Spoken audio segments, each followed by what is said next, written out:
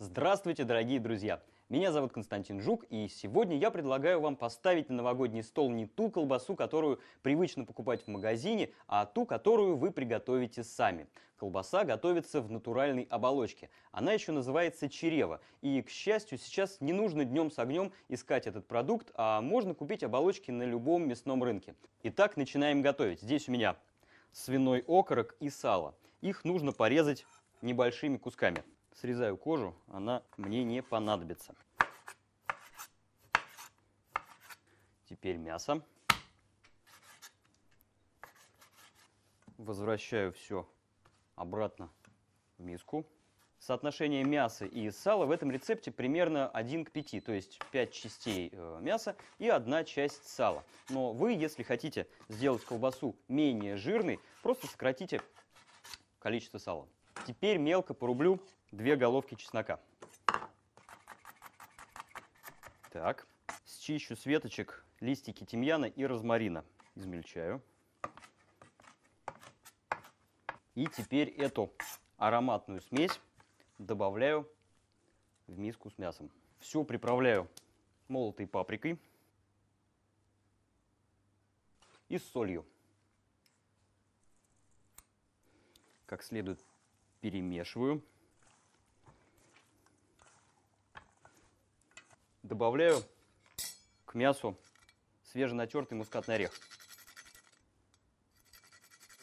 Ну и, конечно, для того, чтобы колбаса получилась нежнее и вкуснее, я добавляю к мясу майонез московский провансаль классический. Теперь одеваю оболочку вот на такой специальный конус для колбасы. Теперь край нужно завязать в узел. Вот так. Для того, чтобы фарш не вываливался. Зафиксирую оболочку при помощи специального кольца. И теперь закрепляю это устройство на мясорубке. Вот так. Часть мяса выкладываю в мясорубку.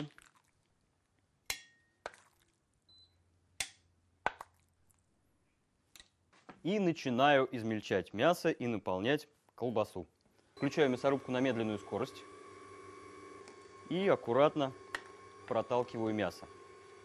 И смотрите, чтобы мясо и сало поступало в мясорубку примерно в одинаковых пропорциях.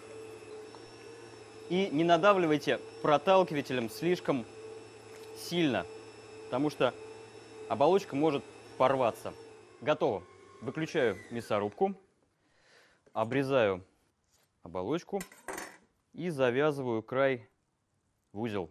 Теперь колбасу нужно свернуть в спираль, для того, чтобы было ее удобнее запекать на противне. С одного края завязываю веревкой, чтобы колбаса не раскручивалась.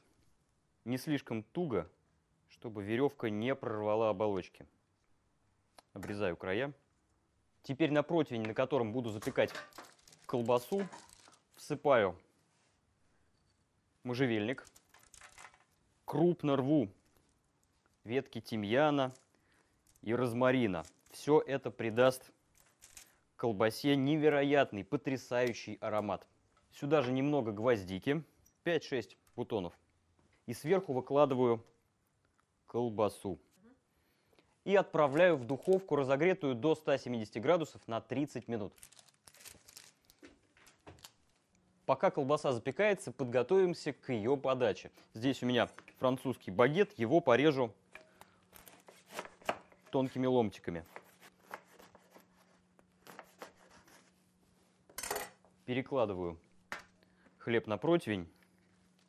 Ну и осталось всего лишь запечь хлеб с сыром в духовке, предварительно разогретой до 170 градусов, минут 10.